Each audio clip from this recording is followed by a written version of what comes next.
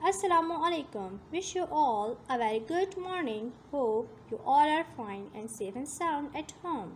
Now, without wasting time, let's get started.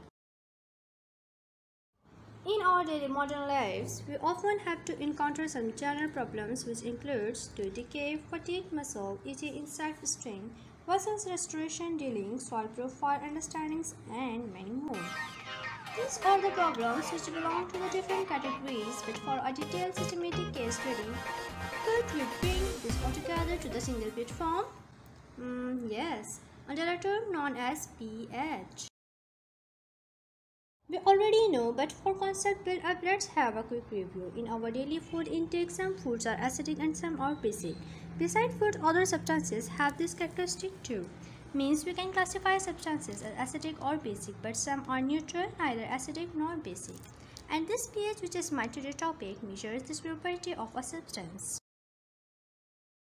pH here P stands for power or potential and H for hydrogen has potential of a substance to attract hydrogen ions. Acid is a substance that yields hydronium ions when dissolved in water or any substance which has pH value less than 7. But Base is a substance that yields hydroxide ions when dissolved in water or any substance that's pH value is greater than 7. pH that shows acidity or basicity of a substance is based on a scale which assigns number ranges from 0 to 14. Low pH equals acids, high pH equals bases. Close to the end of the scale, stronger the solution. And the most important pH scale is to logarithmic mean each value is 10 times less than or greater than the next value. For example, pH value 4 is 10 times more acidic than pH value 5 and 100 times more acidic than 6. Same property holds for values higher than 7 till 14. So, we have to be very careful while measurements cause a mistake of 1 unit is 10 times multiplied. But to measure pH in real life? By indicators, which are chemical dyes that change color depending upon the solution they are in, like phenolphthalein, bromothymol, methyl and so on. And there is also an alternate method by using pH test papers which also turn a specific color then that color is correlated with pH chart to assign its pH value. We learned some ways to test pH but should we really care about it? Or is it important to us? Well, it is studied extensively and its wide application to process industries and mainly human body control. Plus, all biochemists and medical psychologists have recognized pH as primary aspect of a healthy body and environment. Now, common dear issues are acid rain, itchy insect sting, daily dosages, and soil profile water never means that it means something acidic. Rain is the most pure form of water, but we live in an environment containing refineries and many other factories that has come up in the vicinity and surrounded pollution around us. Rainwater, when interacts with this type of atmosphere, its pH value becomes less than 5.6. Then this condition of rain is thought to be acidic.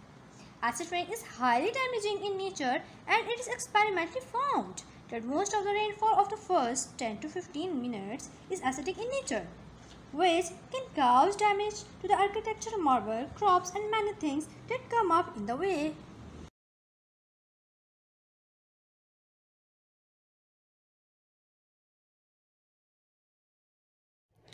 Once the food is taken in and pushed through food pipe, there are still some particles of the food remaining in the mouth cavity. The bacteria present in the mouth breaks down food particles and, while doing so, it produces acids which usually damage the teeth enamel. When pH becomes lower than 5.5, enamel gets corroded. Saliva, which is slightly alkaline, produced in the mouth neutralizes some acid but excess acid remains unaffected and triggers the teeth decay. The human teeth are made up of a material that is the hardest in nature and is not corroded by any substance. But when the teeth are exposed to the acids generated by the bacteria, they are prone to decay.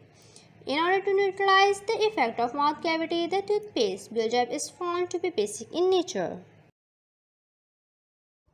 Many animals and plants protect themselves from enemies by injecting painful and irritating acids or bases into the whole skin. When honeybees stings a person, it injects an acidic liquid into the skin. Rubbing with mild paste-like baking soda solution on sting area of the skin gives relief. When a wasp stings, it injects an alkaline liquid into the skin. When upon rubbing with a mild acid like vinegar on sting area of the skin gives relief.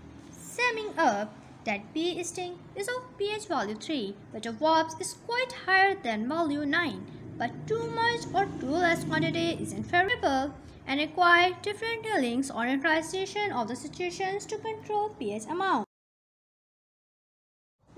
Happening in this video? Again, pH value either too high or too low is unsuitable to the soil for a productive growth. The pH value is probably the most important single property of the moisture associated with the soil, since the indication reveals what crops will grow readily in the soil and what adjustments must be made to adapt it for growing any other crops. Most of the plants grow when the pH of the soil is close to 7. If the soil is too acidic or basic, the plants grow badly or do not grow at all. Acidic soils are often considered infertile. Acidic, acidic soil can be sweetened or neutralized by treating it with chemical fertilizers to adjust its pH for suitable growth or by oxidation of sulfur compounds when salt marshes and drained for as farmland and by other causes. Points to remember. Our body is alkaline by design and acidic by function. Maintaining proper alkalinity is essential for life, health and vitality. So basically an imbalance of acidity or alkalinity creates a condition favorable to the growth of bacteria, yeast and other unwanted organisms.